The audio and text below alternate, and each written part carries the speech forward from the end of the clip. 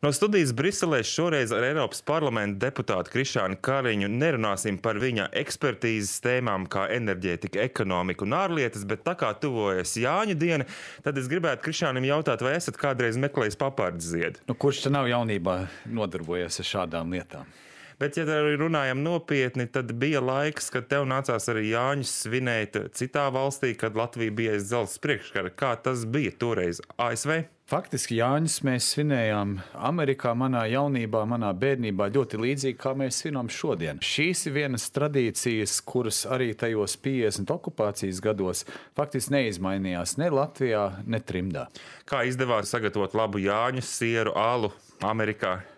Ar alu bija drusku grūtāk, ar sieru to paši sēja. Un pīrāgas, protams, arī mamma noteikti tev cepa. Pīrāgas to arī nevarēja veikalā. Tagad jau ir ieiet lielveikalā, ceļā, kā saka, uz, uz svinībām un nopirkt. Protams, es uzaugu apstākļos, kur ne rupmaiz nevarēja nopirkt ne pīrāgus. Tas pašiem bija jācep, to mēs arī darījām.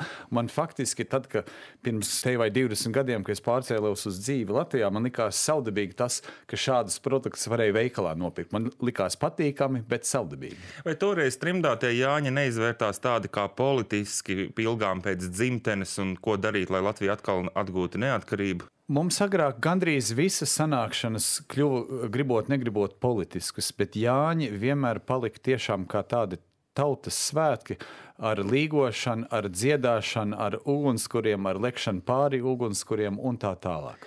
Tagad Eiropas parlamenta deputāta krēslā esot, kā izdodas svinēt Jāņus, vai nav jābūt darbā, taču 24. jūnijas Eiropas parlamentā nav brīvdiena. Diemžēl man būs jābūt, jo tieši 24. jūnijā būs balsojums, svarīgs balsojums par Latvijas iestāšanos Eirozonā, kas nozīmē, ka pēc svinēšanas es došos atpakaļ uz Rīgu un taisnā ceļā lidošu uz Briseli.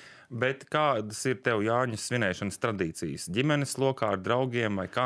Kodols, protams, ir ģimene, un kā kuru gadu draugu lokus ir plašāks vai šaurāks, kā sabrauc uz teikt, vieniem laukiem vai otriem laukiem, pie mums vai pie citiem.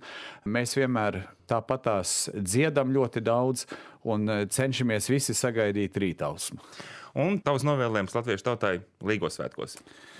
Nu, protams, lustīgi, jauku līgošanu, notikumiem bagāta vasara, un galvenais būsim pēc tās līgošanas tomēr saprātīgi. Tā saka Eiropas parlamenta deputāts Krišāns Kariņš. Tas bija šīs sezonas pēdējais raidījums. Mēs būsim atpakaļ ēterā atkal rudenī, kad jau runāsim par visām nopietnām lietām, kas skar gan Eiropu, gan Krišānu Kariņu.